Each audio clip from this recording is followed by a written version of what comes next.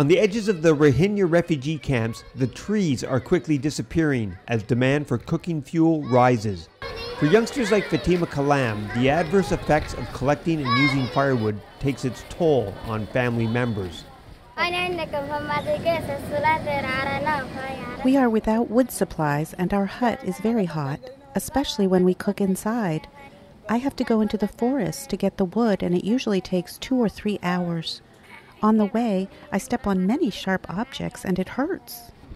In the hillside settlements, the depletion of the forests, including dug up roots, increases the risks of landslides. A cooperative of aid groups are aiming to supply at least 200,000 homes with a cleaner solution that will have ripple effects on the environment. The refugees are cooking on inefficient mud stove that causes a lot of smokes, so that comes with a subsequent health hazard as well.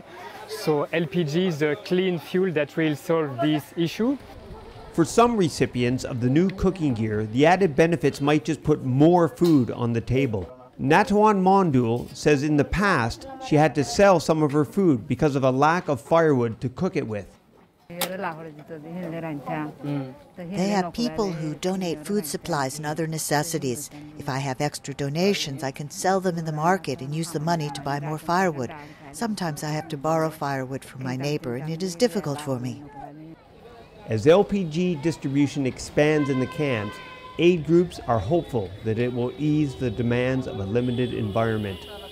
Steve Sandford for VOA News in Cox's Bazar, Bangladesh.